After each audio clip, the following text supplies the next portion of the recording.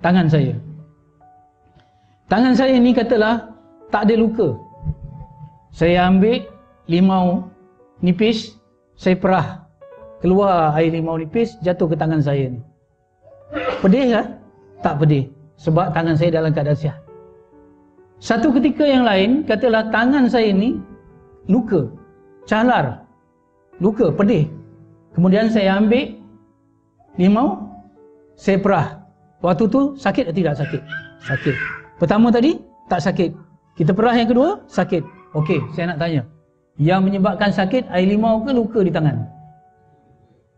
Eh? Luka, betul tak? Ya. Begitu juga hati. Yang dikatakan hati yang sihat, hati yang tidak calar tadi. Hati yang dapat makanannya, kalau dia lapar, hati yang dapat penawarnya bila sakit. Perah air limau. Air limau tu ujian hidup. Orang kata, orang nista, dikecewakan, ya, tidak disayangi, tidak dihargai, perpisahan dan sebagainya, tak ada apa-apa. Tetapi sekiranya hati kita lapar, hati kita sakit, dia macam luka yang tercalar, datang sikit aja perpisahan, dah sakit. Datang sikit je tak ada duit, dah sakit. Datang sikit je penyakit, dah sakit. Sebab itu yang menyebabkan hati tidak tenang bukan soal ujian hidup tetapi keadaan hati itu sendiri. Boleh faham maksud saya?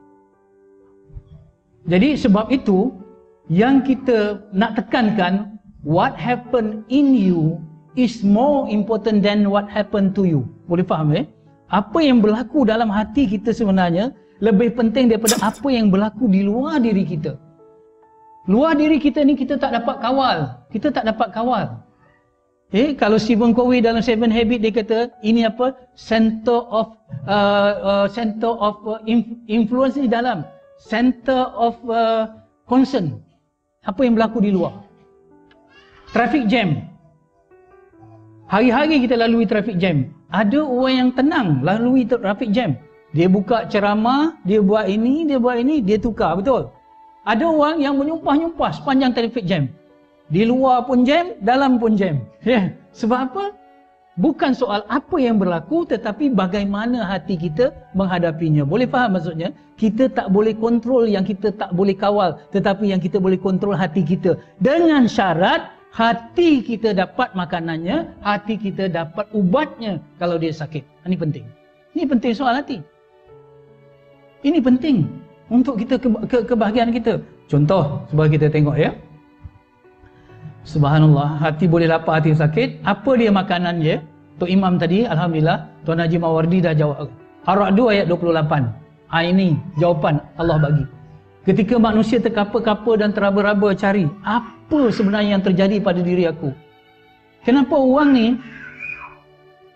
ujian banyak ni dia boleh tenang. Para sahabat, mereka miskin. Para sahabat, ada di kalangan suami mereka yang mati syahid. Tapi sahabiah tenang. Sahabat, ada yang dilandakan penyakit. Ada seorang sahabat bagi tahu Rasulullah, "Ya Rasulullah, aku demam."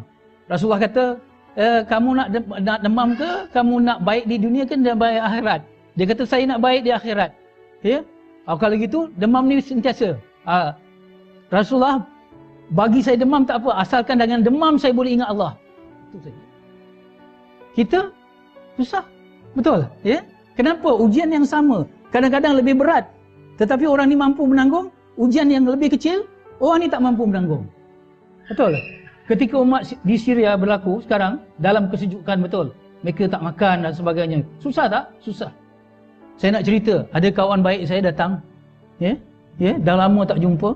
Ni Ustaz Zakaria, Zakaria ni memang sahabat baik saya lah ya. Ada seorang sahabat lain, yang sahabat lain dia datang satu hari. Kata ada masalah besar. Kata apa dia masalah? Saya pun ingat masalah apalah. Macam inilah masalah saya ni. Saya dah, dah, dah, dah suami isteri dah lama dah kami kahwin. Cuma masalahnya ialah kalau saya pilih restoran lain nak makan, dia mesti pilih restoran yang lain. Bagi dia besar sangat tu. Ya? Yeah? Makan di mana tu? Kadang orang kadang-kadang orang boleh hadapi makan kedak hari ni. Tahu? Makan kedak. Kalau orang Palestin, orang Syria, hidup kedak. Hidup ke tak aku ni? Sampai petang ke hidup aku ni? Sebab dihujani oleh bom. Betul? Tapi kenapa mereka tenang? Ya ni pasal restoran. Kenapa? Tanyakan pada hati kita. Ini soal hati. Ya? Allah jawab dalam surah Ar-Ra'du. Yang kita terkapa-kapa teraba-raba ni, Allah jawab soalannya ialah, ya? Bisa ya? Ya? A'udzubillahi minasyaitonirrajim.